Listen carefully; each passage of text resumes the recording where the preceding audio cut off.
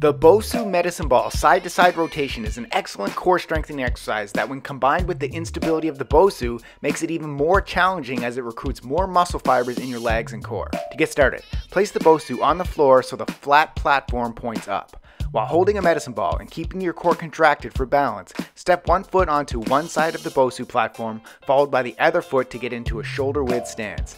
Slightly bend your hips and knees to get into an athletic stance, then extend your arms out to the center of your body at shoulder level with the medicine ball. Keeping your arms extended and your hips locked in and facing forward, rotate your upper body and arms to one side as far as you can while contracting your core to keep your hips locked in and square to the front. Rotate your arms back to the center, then rotate to the other side as far as you can with all the movement coming from the torso, not the hips. That's one rep. Repeat for reps. For an easier modification, flip the Bosu so the flat platform is on the floor, then stand on the wobbly side. Repeat for reps the same way as mentioned earlier. Make sure you subscribe for more Live Lean exercise demos.